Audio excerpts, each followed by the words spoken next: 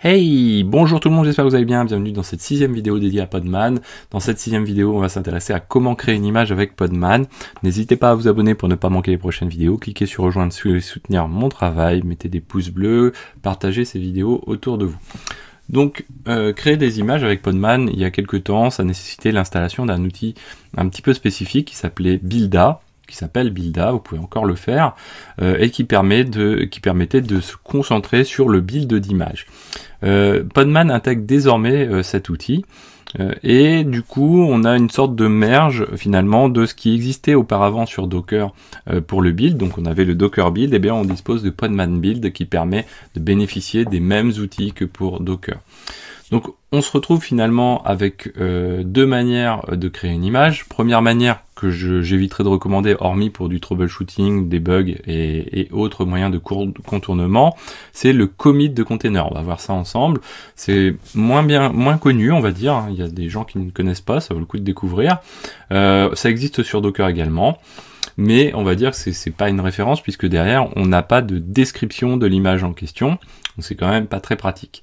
Deuxième méthode, comme je disais, donc le, venant de, chez Docker, c'est le Dockerfile, qui est un standard pour la construction d'une image. Lui, on va pouvoir le versionner, c'est-à-dire le guider, euh, pour pouvoir suivre ses évolutions, le partager éventuellement, plutôt que de partager même les euh, images. Euh, les images, on verra ça dans une prochaine vidéo, sont constituées en couches, qu'on appelle des layers, et on verra ça dans une prochaine vidéo. Alors, derrière, donc on va euh, alors un petit mot aussi sur sur les images. Donc je sais pas je l'ai pas mis ici tiens. Euh, elles sont au format OCI Open Container Initiative ce qui fait aussi qu'on peut passer donc de Podman à Docker de Docker à Podman relativement euh, facilement. C'est un standard qui est extrêmement important à, connaître. Je vous invite à vous y intéresser si vous le souhaitez. Alors pour les commits donc du coup on va partir sur notre machine ici. Donc si je fais un Podman Images je n'ai rien. Et derrière, donc du coup, on va regarder euh, quand on va lancer un container. Donc on va faire un podman run d euh, name euh, on va l'appeler C1 ce container nous on souhaite avoir un container Debian et on va choisir une version Bullseye euh, slim, donc la version plutôt légère. Et nous on va faire ça, mais on veut lancer en même temps, il nous faut un process pour faire survivre, vivre notre container, donc on va le lancer avec un infinity, euh, comme ceci. Donc là on va choisir la registrie en question, on verra comment on peut configurer cet élément là. Donc il nous propose quatre registries qui sont enregistrées euh, sur notre podman local configuré. et vous voyez qu'il nous propose là où sont situées les images et les tags en question. Donc là, il va pouler l'image. Voilà, ça prend quelques secondes. Euh, derrière, ce qu'on va faire, c'est qu'on va s'y connecter ensuite. Voilà, donc ça a été stocké. Vérifiez bien, vous voyez ici, on a des ID des SHA-1. On, on reviendra dessus euh, très prochainement. Donc, on va faire un podman exec-ti pour euh, donc se connecter à ce container. Vous voyez que je n'ai pas dit rentrer dans ce container, CF la vidéo précédente. Euh, on va se connecter au conteneur C1 et nous on va vouloir avoir un bash dedans. Donc très bien. On va créer un fichier Toto. On imagine que l'on va que l'on est en train de faire plein de modifications, euh, éditer des fichiers, etc. on peut même faire un echo, je sais pas, salut Xavkist par exemple, un truc comme ça, et puis on va l'appeler là xavkey.txt. Donc ici, j'ai bien mon fichier, mon fichier Toto, mon fichier xavkey, et euh, voilà. Donc là, c'est bien, j'ai euh, ce container avec ça dedans. Si je refais un podman ps, donc j'ai bien le container qui est vivant, je me suis connecté à lui, donc j'ai fait des modifications dedans. Comment je fais pour faire en sorte que euh, bah, j'en constitue une image? Donc là, on va utiliser le podman commit, hein, vous voyez ici, pour pouvoir euh, se connecter dessus, quoi, pour pouvoir créer cette image. Donc on va utiliser le commit. vous pouvez passer un tiret-l pour avoir plus d'informations. Il y a quelques options dedans. Euh, parmi les options intéressantes, vous voyez, vous avez le, merge de layers. On verra les layers prochainement. Ça va permettre, quand vous avez une image qui est constituée de différents layers, si vous voulez repartir d'un seul et unique layer, vous allez pouvoir les squasher, c'est-à-dire les regrouper ensemble euh, grâce à, ce build via le commit. Vous avez aussi la possibilité de, spécifier un commentaire euh, sur cette image-là. Ça va permettre d'avoir des éléments plus factuels sur ce qui s'est passé. Donc, nous on va faire un podman commit. On va lui passer derrière le, le, nom de notre container ou l'ID de notre conteneur. On a vu qu'il y avait des ID. Et puis ici, je vais l'appeler mydebian et je vais dire que c'est ma version 1.0 comme ceci. Donc là, vous voyez que ça va très vite. Il nous a créé une nouvelle image. Donc si je fais un Podman Images ici, je vais retrouver ici MyDebian en version 1.0. Et vous voyez ici qu'il nous indique localhost. Ça, c'est la référence au fait que on est sur, on va considérer comme une registrie locale. Euh, donc on est vraiment sur notre euh, local. C'est-à-dire qu'on verra quand on va, on va l'utiliser pour pousser, euh, quand on va utiliser des images pour pousser euh, ces images vers une registrie distante, le localhost bien sûr ne va pas fonctionner. Il faudra être sur une registrie euh, distante, donc son URL de cette registrie, et pouvoir la pousser. donc là, on, vient de créer cette image hein, quand même. on peut désormais donc l'utiliser. Si je fais un podman euh, tirer, quoi, on va pas forcément faire tirer D, tiens, on va passer à autre chose, on va faire euh, TI, donc pour avoir une interface, RM. Donc le RM, c'est quoi? C'est-à-dire que là, on va faire un Docker Run, donc on va lancer un container, et quand on ressortira du container, celui-ci va automatiquement se supprimer grâce au RM. Ça, c'est vraiment très très pratique quand on veut débugger, par exemple. Euh, ici, on va lui passer un petit nom à ce container quand même, on ne sait jamais. C2, et là, on va lui passer le nom de l'image en question. Euh, donc, on lui passe le euh, V1.0. Donc là, je le lance tel quel. Ah oui, alors donc là, je suis dedans. Alors, mauvais exemple, c'est pas grave. Donc là, je suis dedans. et je l'ai lancé tel quel. Qu'est-ce qui se passe? Donc là, qu'est-ce qui s'est passé? Pourquoi je tombe ici sur euh, finalement un terminal qui me rend pas forcément la main? Et qu'est-ce qui s'est passé? Souvenez-vous, on, a lancé notre container précédent, donc le C1, avec euh, un, un, process principal qui est le sleep infinity. Euh, on a créé nos fichiers dedans, on a commité l'ensemble.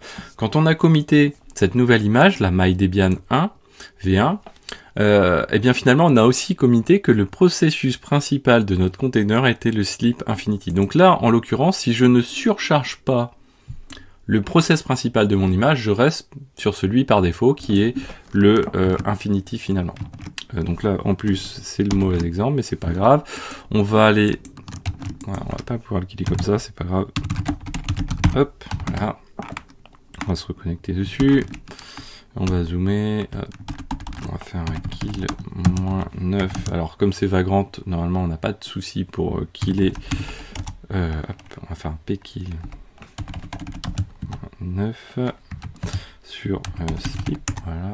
Et voilà, du coup on récupère la main. donc derrière, on aurait pu aussi surcharger ce, ce, process principal, on va se mettre comme ceci, ce process principal en faisant tout simplement un, une commande bash à la fin, donc pour lui dire ok le process principal, nous on, l'occulte complètement, on lance notre propre process principal et du coup on tombe sur un bash. Si je fais ls, eh bien je me retrouve avec xavkey.txt et bien sûr si je fais un cat de xavkey.txt, j'ai bien l'intérieur de mon container euh, avec euh, le fichier en question qui a été rajouté après. Donc ça c'est quelque chose qui est, qui est, assez intéressant, assez important. Euh, autre méthode du coup le Dockerfile. Donc le Dockerfile, euh, nous on va partir, euh, ouais voilà, on peut faire quelque chose comme ceci. Donc c'est un format très spécifique, un format plat on va dire, comme ceci. Et qu'est-ce qu'on va mettre dedans? Première chose, hop.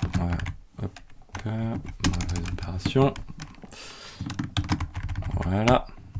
Donc nous, première chose, on va lui indiquer, et ça c'est toujours le cas, on va partir d'un from.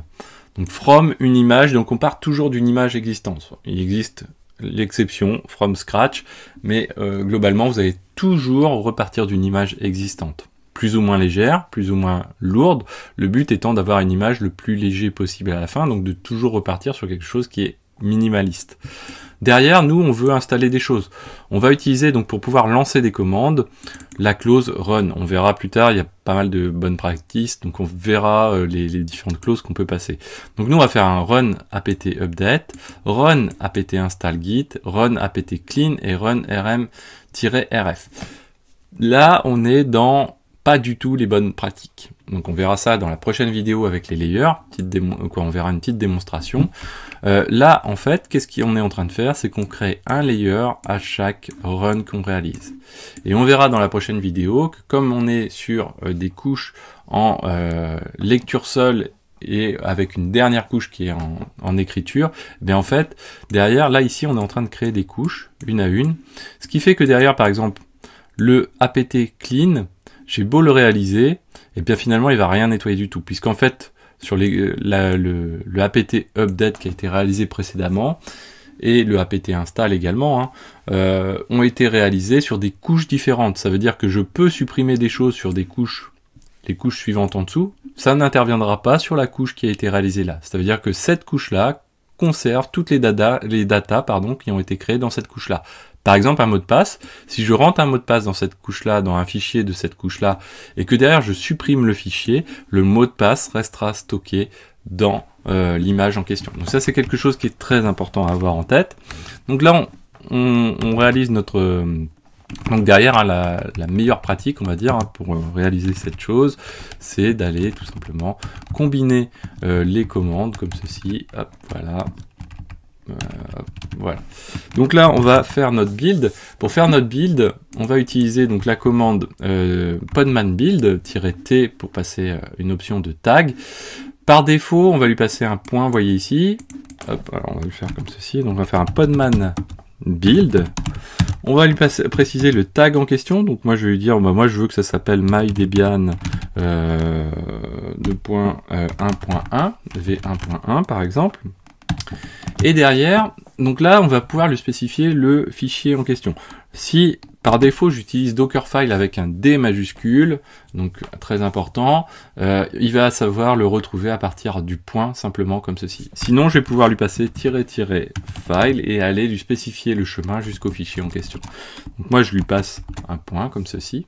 Et donc là il est en train de réaliser euh, le, build en question. On, peut, on pourrait être en mode silencieux. Vous voyez qu'ici là on voit quand même tout le détail de ce qui est en train de se passer. Là il est en train de faire l'update euh, à l'intérieur de notre fichier. Vous voyez qu'ici, donc il a réalisé le from, donc il a récupéré l'image en question. Alors c'était facile puisqu'en fait il utilise des caches euh, locaux, les couches locales déjà téléchargées. Comme cette image-là on l'avait déjà téléchargée, il ne l'a pas retéléchargée. Et derrière donc il a fait juste un run apt update, l'install de git, l'apt clean et le rm. Donc là c'est ce qu'il est en train de faire. Il doit même probablement avoir terminé, voilà, et il nous rend la, main. Derrière ici, donc si je fais un podman images, ici, on va retrouver, alors je sais pas si je vois, donc on retrouve notre image ici. Ici, on a le SHA-1 complet de notre image, le nom de notre image euh, intégralement. Et ici, donc, on a notre, euh, notre ID d'image qui repart bien sûr de cet élément-là en version plus courte. On voit la taille de notre image ici qui est de 171 mégas. Bien sûr, je peux lancer euh, mon image toujours.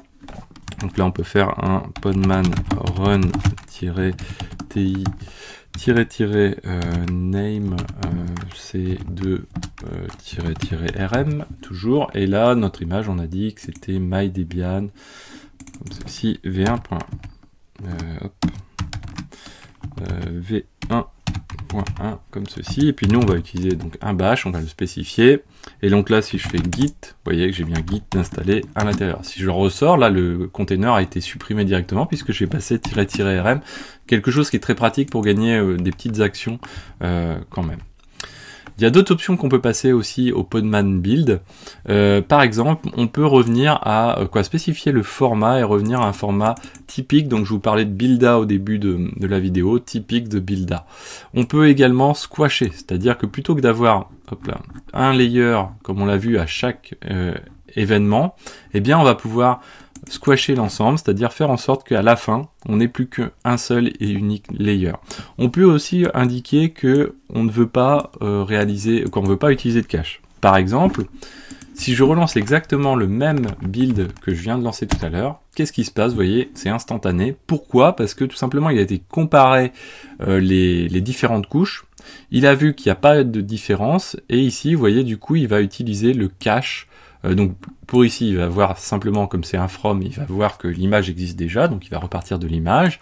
Et ici, pour la deuxième couche, il est suffisamment malin pour aller se dire, ok, j'ai un cache euh, local, je le compare à ce cache, et comme c'est exactement la même chose, je ne fais rien finalement, je repars de la même chose. Donc là, il me dit qu'il a buildé, mais finalement, si je regarde l'ID euh, en question ici, l'ID n'a pas évolué, alors bon là, on va pas pouvoir le voir, l'ID n'a pas évolué par rapport à ce que j'avais précédemment. Si je remonte, j'ai exactement la même chose. Euh, derrière, on a aussi le from, c'est-à-dire que le from de l'image qui est ici, Admettons que je ne veuille pas, comme je vous disais, utiliser, je veux utiliser des images beaucoup plus légères. J'ai une suite d'actions, là c'est pas très intéressant, j'ai qu'une action d'installation de Git avec un update juste avant et un clean après. Mais imaginons j'ai plein d'actions, mais je veux pas partir du même from, bah, je vais pouvoir spécifier le from, tirer, tirer, from de cette manière-là. Ensuite, je vais pouvoir spécifier des variables euh, de, contexte de build euh, spécifiques. Par exemple, je veux récupérer tel répertoire ou tel répertoire de ma machine locale. Donc on verra, il y a la clause copie qui permet de copier d'un répertoire à un autre. Donc ça, c'est aussi très pratique. Dans d'autres cas de figure, on va avoir besoin d'un DNS à l'intérieur de l'image et parfois on a besoin de spécifier un DNS particulier, ben on va pouvoir le spécifier de cette manière-là. On a aussi la possibilité de fixer des variables d'environnement au cours du build, donc pour ça on va passer tirer-tirer env. Voilà, donc j'espère que cette vidéo vous a plu. N'hésitez pas à la partager, à mettre des pouces bleus, à commenter. Et moi, je vous dis à très bientôt sur Xavski.